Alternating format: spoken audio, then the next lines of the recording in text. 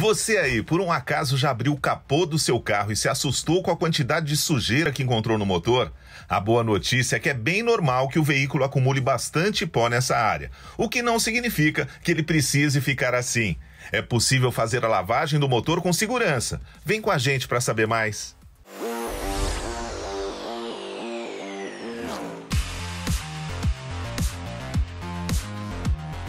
Hoje em dia tem muita essa dúvida, né, sobre se pode lavar o motor. Sim, pode lavar o motor desde que você tome os devidos cuidados, né?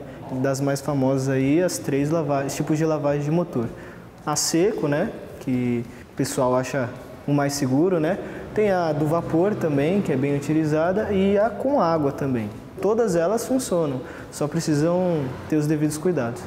Não é exagero, não. Esses cuidados são necessários porque no cofre do motor vai uma grande quantidade de itens eletrônicos e eles precisam estar bem protegidos para evitar problemas. Primeiro a gente dá uma olhada no painel para ver se não tem nada errado, né? É, a partir disso a gente espera o motor esfriar, sempre é importante essa parte. E a gente dá uma olhada para ver se não tem nada fora, nada, nenhuma gambiarra, né? Alguma coisa, um fio elétrico, por exemplo, solto. E a gente faz as devidas proteções. Quanto mais água você utilizar, mais proteção.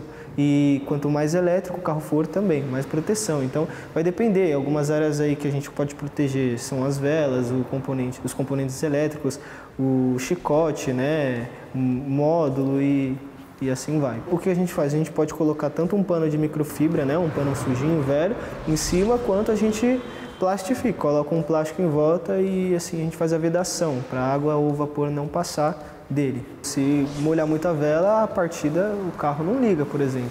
Né? A mistura, por exemplo, a, a parte do óleo, né, que a gente consegue colocar óleo. Se ela estiver aberta e entrar água, por exemplo, imagina a mistura do óleo com a água. Né? É, parte elétrica que mexe com vidros e a parte interna, né, e etc. Se você jogar água lá dentro, por exemplo, ele dá, por exemplo, um curto, né? Então é sempre importante proteger Existem diferentes tipos de lavagem. Aqui, por exemplo, o pessoal trabalha com a lavagem a seco e com a lavagem a vapor.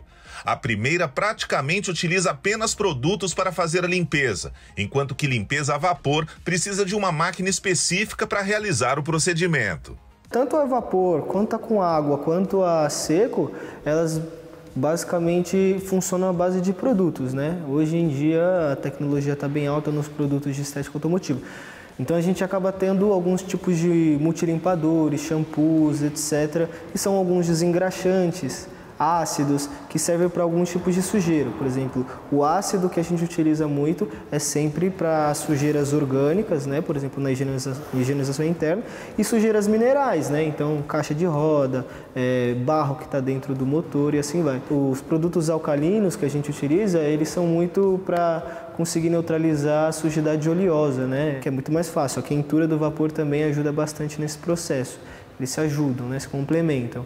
Então, mesmo a seco, a gente diluindo o produto em água, passando o produto, entrando com a esfregação, a secagem, o vapor, a mesma coisa, passando o produto, entrando com a esfregação e derrubando a sujeira com o vapor. E a água, usando o produto, entrando com a esfregação e derrubando a sujeira com a água, é, ambos funcionam à base de produtos.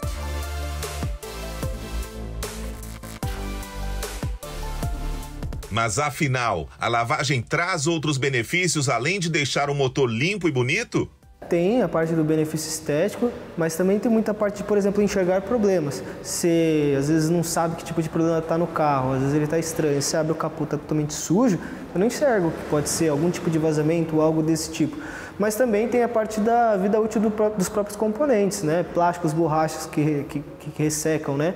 Depois da limpeza do motor, a gente aplica uma proteção de verniz, né? Hoje no mercado tem muita proteção de plástico, de borracha, né? Revitalização, no caso, para conseguir é, fazer com que suje menos o motor, que deixe brilhante esteticamente também, mas a limpeza é sempre importante para a vida útil dos próprios componentes. É, deu para ver que a lavagem do motor não é besteira ou preciosismo. Além da questão estética, o procedimento ainda pode ajudar a enxergar algum problema. Agora que você está por dentro, não esquece de dar aquele trato no motor também. E continue ligado nas dicas do Automais para deixar seu carro sempre bem cuidado.